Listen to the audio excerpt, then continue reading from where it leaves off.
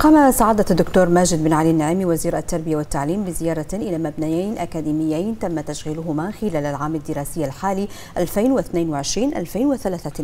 نعم وذلك في كل من مدرسة سمو الشيخ محمد بن خليفة الخليفة الابتدائية الإعدادية للبنين. في المحافظة الشمالية ومدرسة الرفاع الغربي الإعدادية للبنات في المحافظة الجنوبية.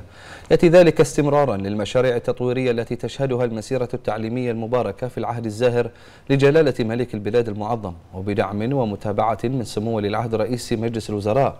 وفي إطار الخطة الإنشائية لوزارة التربية والتعليم التي تمتد حتى عام 2030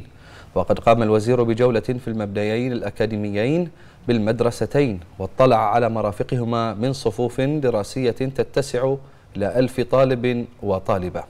وبهذه المناسبة أوضح الوزير أن الخطة الإنشائية للوزارة تتضمن إنشاء 24 مبنى أكاديمي تضم حوالي 400 فصل دراسي بالتعاون مع وزارة الأشغال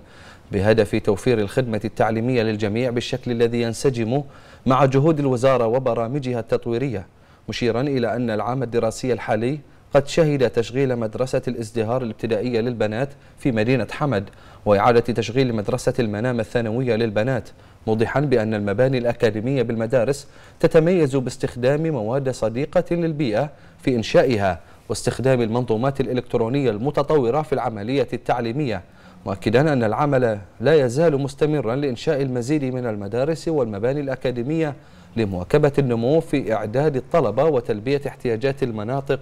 السكانية الجديدة.